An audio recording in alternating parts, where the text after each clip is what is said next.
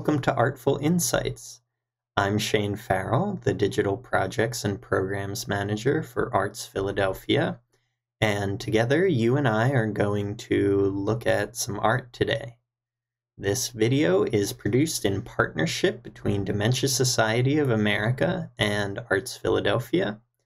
Each month we offer a live program where a small group of people talk about a work of art or works of art from museums and cultural centers around the country. Uh, it's a different museum or cultural center each month. And in addition to that live program, we also produce a video like the one you're watching right now. We look at the same works of art as we did in the live group, but with the video, it's 30 to 40 minutes in length you can watch it anytime, day or night, that might suit you. And it's an opportunity to have a more intimate, self driven conversation about the art. I'll ask a few questions to get us started, give you a few things to think about. I'll share some of the observations and thoughts that folks from the live group brought up that I think might be interesting for you to consider. But really, this video each month is about you. It's about what you see in these works of art, how you respond to them, and just having the opportunity to look at a work of art and think about it at your own pace. If you're watching this video with someone, please feel free to pause from time to time if you'd like so that you can have your own conversation. If you're watching on your own, we're delighted to have you, and it'll be a conversation just between the two of us. So, without further ado, I'd like to introduce you to the museum or cultural center that we're visiting today. Welcome to Artful Insights. So, here we are at the museum we're going to be visiting today. This is the Isabella Stewart Gardner Museum in Boston, Massachusetts.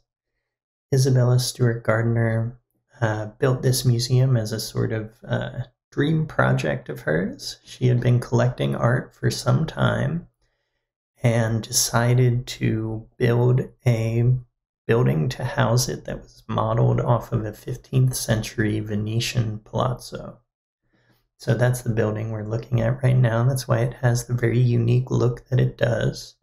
Throughout the process of building the building, she was very, very involved uh, to the point that apparently the architects and engineers kind of had to keep her away from the construction site.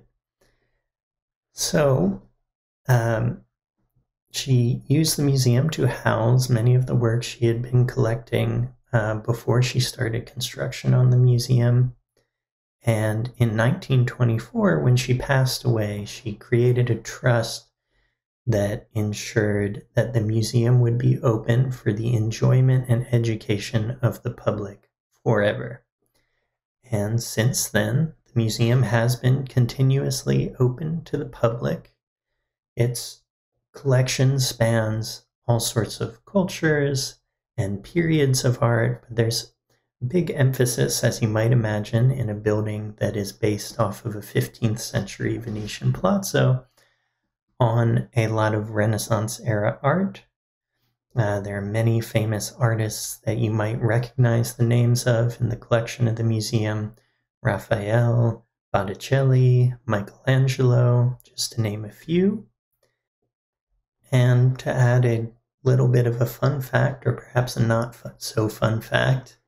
In the 1990s, the museum was victim of one of the largest art thefts of all time that's still sort of an unsolved mystery, where a number of very famous works of art that are worth quite a bit of money were stolen and have never been recovered. So, just kind of an interesting tidbit about this museum. It's undergone some expansions since uh, 1903 when it originally opened, 1924 when the trust was created to make sure it was accessible continuously to the public. They expanded with new building uh, focused on history and preservation in 2002. And now that we've learned a little bit about the museum, about its history, about its collection, why don't we go ahead inside and take a look at the artwork that we're going to be looking at today. So here is the artwork that we're going to be looking at today. I want you, before we have any sort of conversation about this, just to take some time on your own to look at this artwork and see what you notice. Where does your attention go first? And then, after that initial thing that you notice, what other details do you start attending to in this artwork?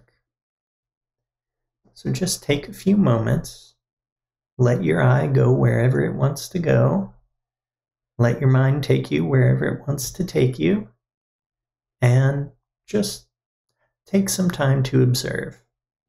After you do that, we'll come back together and we'll have a little bit of a discussion about it.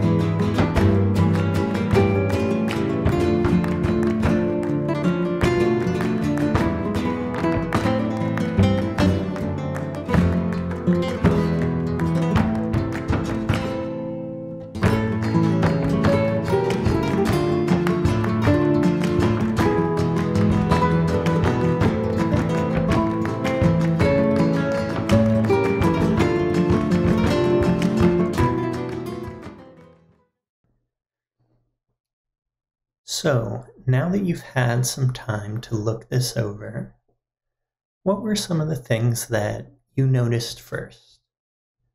What caught your attention? I'd be very curious to hear what sort of things you noticed about this right away. What jumped out at you? Something that jumped out at some of our participants in our group conversation on Zoom was the lighting. What do you notice about the lighting of this artwork?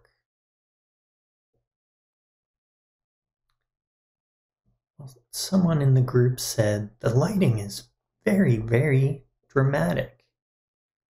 Would you agree with that assessment of the lighting in this artwork? Does it look dramatic to you? Looks kind of dramatic to me. I think I would tend to agree with that. What about it do we think is particularly dramatic? What gives that kind of feeling of very intense lighting?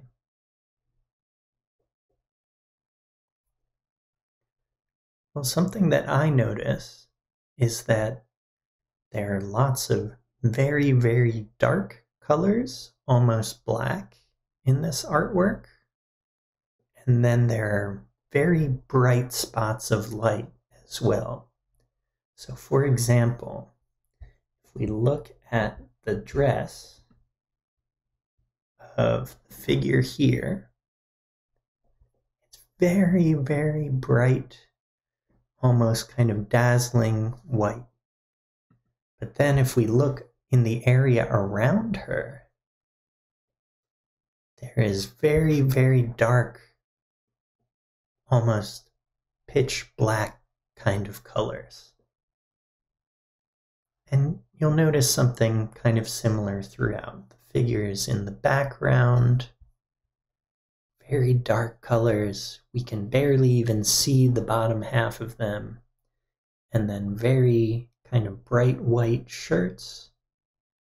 The shadows in the background are something we might notice as well. We have these very clear cast shadows on the wall. There's a lot of very high contrast, and there's a lot of elements like the shadows that add maybe a sense of drama or movement.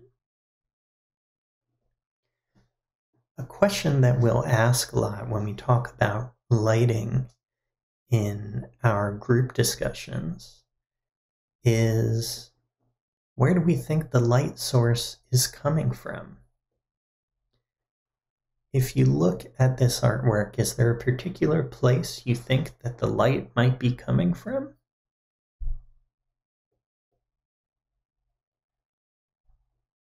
Well, we did note some shadows in the back, for example, right here, right over the heads of these two figures, and right here. So that might indicate that there's a light source directly in front of where these figures are. That would also explain why the dress on the figure toward the side here is so bright white because maybe there's a light right in front of her. How do you think the lighting in this painting creates a certain mood? Does it does it make you feel a particular way? And why does it make you feel that particular way?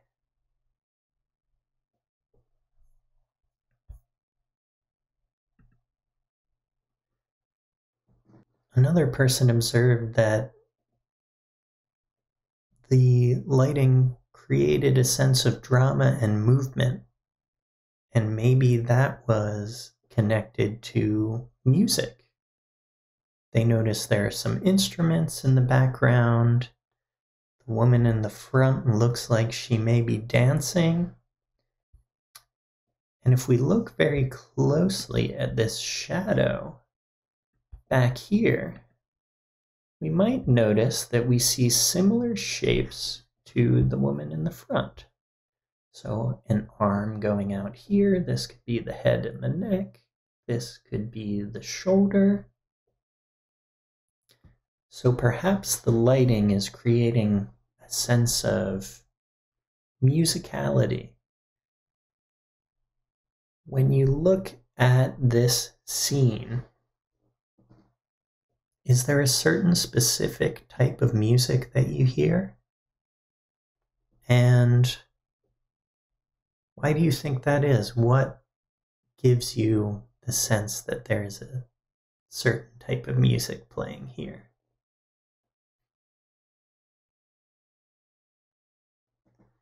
I'd be very curious to know what sort of tunes you're hearing when you look at this painting. It might sound a little bit strange to say, what do you hear when you look at a painting? But when we see people playing musical instruments, like these two men here in the background, we kind of naturally start to wonder what kind of tune they might be playing, right? One of our participants in our discussion on Zoom said, I think they're playing flamenco music. What do you think? Is that the kind of music that you're hearing? Or do you hear something different? Someone noticed after we talked about flamenco music that maybe it looked like the dancer was holding something in her hands. You get the sense that she's holding something? Do you see an object there that she might be holding on to? We can zoom in a little bit on her and talk a little bit more about what she might be doing. So now that we've zoomed in a little bit more on the dancer, let's talk again about the possibility that she's holding something. So someone had mentioned maybe she's holding castanets. So she's holding an instrument, basically, that's helping her make a kind of percussive sound. Do you get a sense looking at this that you're hearing uh, very percussive type of music, very focused on drums and other percussion sounds and rhythm? Someone else mentioned, Oh, yeah, in flamenco music, don't dancers often stomp on the ground to make a certain kind of percussive noise to go along with the rhythm of the music? It looks like the dancer here might be lifting up on her skirt with this hand so that her foot down here can stomp on the ground and make a sound. And that brings up a number of interesting questions. So, for example, what sort of dancing do we think this person is doing? Do we get the impression that it's a very intense kind of dance where she might be stomping and moving very dramatically and making a lot of noise as she moves across what might be a stage? Or do we think this is kind of a gentler kind of dancing? Someone in our group discussion said, maybe it's ballet. I don't know what kind of music people dance to in ballet, but maybe it's ballet, which is sort of, you know, a gentler kind of movement, right? Where the dancer is kind of trying to appear almost weightless. So, do we get the impression this is a more intense, percussive type of dancing, or maybe something more gentle and relaxed? What do you think? And what details give you that idea?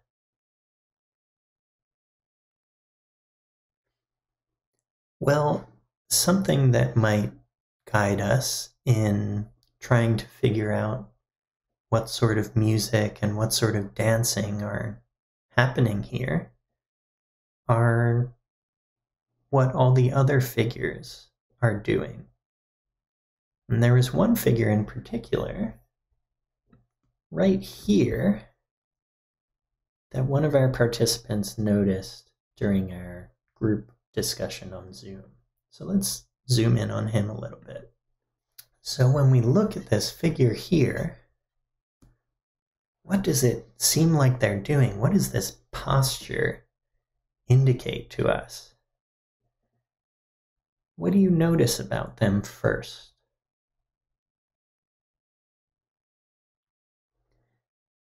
Well, one of the first things that I notice is that their head is thrown back like this. So that might indicate something in particular. What do you think it might mean that their head is thrown back as they're either participating in or watching this performance? Well, one person suggested that maybe they were singing. They're throwing their head back because they're so involved in the music, involved in the singing that they're doing. They're projecting their voice and they're just kind of enraptured by the performance that they're a part of. Do you think this person might be singing? Or do you think something else might be going on here?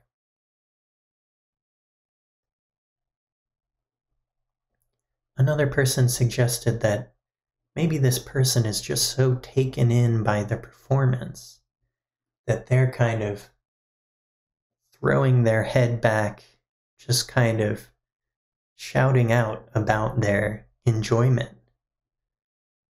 That could be a possibility too when people get really involved in music. Sometimes they just want to express how the music is making them feel. So maybe this person is just expressing how he's feeling listening to this music. And how do we think he looks like he's feeling? What do you think? To me, whether he's singing or reacting to the music, it looks like he's having a very intense reaction to it. His mouth is open pretty wide, his head is thrown back. To me, it seems like he's really involved in what's going on here. Have you ever gone to a concert or seen a musical performance that made you feel this way, like you just wanted to throw your head back and shout out you were so involved in the music you were hearing? I would love to hear about what your experiences are with music that have made you feel very intense emotions, the way it looks like this man might be. So, why don't we zoom back out for a moment now? So, now that we've zoomed back out, what else do we notice about this artwork that we haven't talked about already?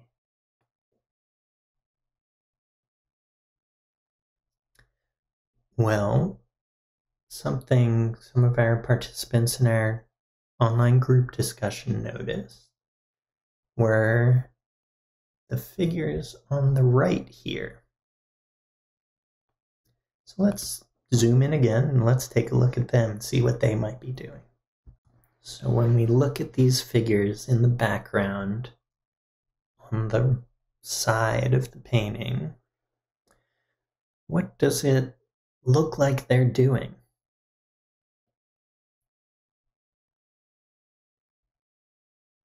Well, someone suggested that it kind of looks like they're clapping. We see someone with their hands raised kind of like this, another figure next to them raising their hands in a similar way, a way that looks like they're clapping together. What do you think? Does it look like they're clapping?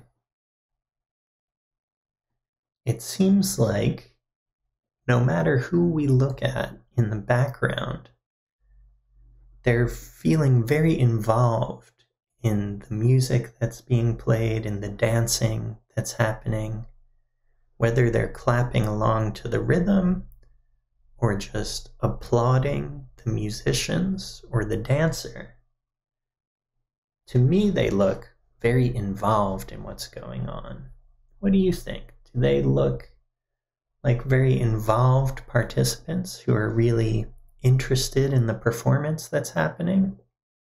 Or do they look like they're just kind of calmly detached from what's going on?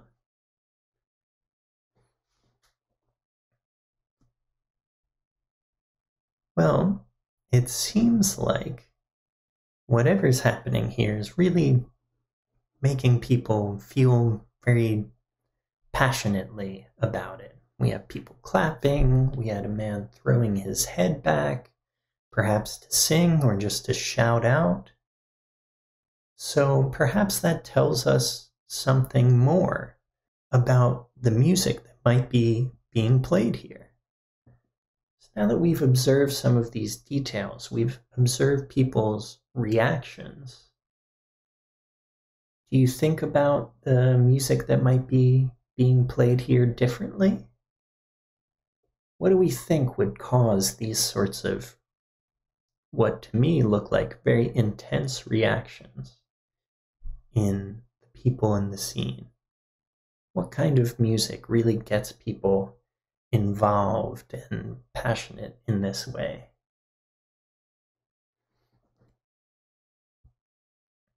Well, as we think about that question, let's zoom back out for a moment and observe some other things about the painting.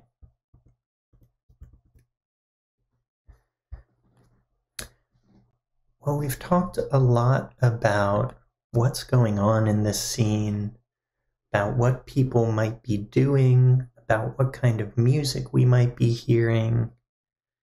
But let's take a step back from that and just observe some kind of formal things about the artwork.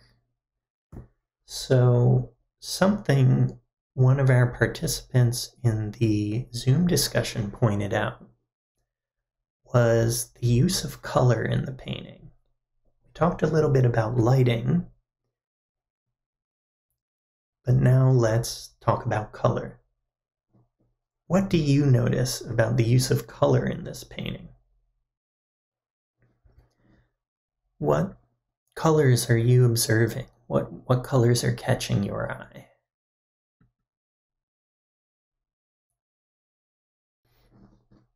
Well, one of our participants noted that the artist was working with a very limited palette. Would you agree with that? Do you think there's a kind of small amount of colors in this painting? I would sort of tend to agree with that. We see a lot of blacks, grays, white colors, maybe some brown colors down where the ground is here. Then we see a few splashes of really bright colors. Where do you notice really bright colors in this painting? Well, I noticed them in a couple places. First, I noticed them over here at the people we were looking at a few minutes ago on their clothing. So we see this kind of bright red orange color on the dress here, the kind of purpley color here. There's some bright colors tucked into what is otherwise a pretty black, white, gray, and brown painting. And then we see over here another bright color, another kind of red orange, right on this chair here. What do you think about the use of color? There's not a ton of different color in this painting, and then there are these very bright areas. It tends to really draw our attention there, doesn't it? Do you find that you are drawn toward these areas with bright color? Well, if we take a look at the chair,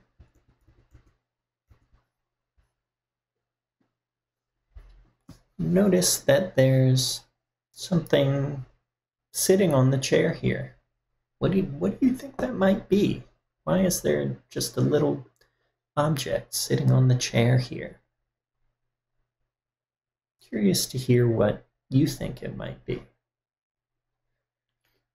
One of the participants in our group discussion on Zoom said, I think it might be an orange. And there's a certain type of orange that's from Spain and associated with Spain. Maybe it's that type of orange. And this is trying to tell us where we are. That the artist is showing us a particular type, species of orange, to let us know where in the world this artwork is taking place. What do you think about that idea? I thought that was pretty interesting. Do you think that might be what we're looking at, or do you think it's something else entirely? Well, after we started looking at these details, looking at colors, we just couldn't help but stop talking about music while we looked at this. And someone said Actually, I've seen flamenco music before, and it's this very intense performance. She described it as a broken heart wailing away. And she said when she saw that singer in the background, if we think he's singing, or he could just be shouting out, but as she saw the person in the background that we looked at earlier, she thought of that flamenco music she had heard, and she thought of someone just kind of wailing away about their broken heart. I think that's an interesting place to kind of finish up our discussion of we had talked about the mood here. We had talked about what kind of music we might be hearing. We had talked about how the artist used lighting to create a certain atmosphere. And it brought up this very powerful memory for one of our participants about seeing flamenco music and the emotions that she was feeling when she heard that music. So, perhaps, if you'd like, you could pause the video and put on some flamenco music and see if you think it fits with what's going on in this painting. I'd be very curious to hear your observations as you look at this artwork with a little bit of music. Well, I hope you've enjoyed looking at this artwork with me today and sharing some of your observations about it. Really love to hear what sort of things you notice about this artwork that I might not have talked about. But now that our discussion is wrapping up, I just want to give a few details about this artwork. It's by John Singer Sargent. It's an artist you might be familiar with. And the work is called El Jaleo. It's painted in 1882. It's oil on canvas. It's very large, about 90 some inches by 137 inches. And the title roughly translates as the ruckus. So, when we were talking about the kind of noise we were hearing in this artwork, it was intended to be a kind of very noisy kind of scene, right? A total ruckus. So, perhaps as you look at this one more time and think about the title, you'll pick up on more sounds that you might have heard when you were looking at this. I want to give a big thanks to the Isabella Stewart Gardner Museum for inviting us to look at their collection together. I especially want to thank Elizabeth Reluga, who helped make this program possible. So, just a big thanks to Elizabeth for all of her help. I really hope you enjoyed looking at this artwork with me today, and I hope you might consider joining us at one of our live programs over Zoom that we have toward the end of each month, every month on a Monday. Program is called Artful Insights, and if you'd like to join us, you can register at our website, which is artzphilly.org. That's ARTZ with a Z.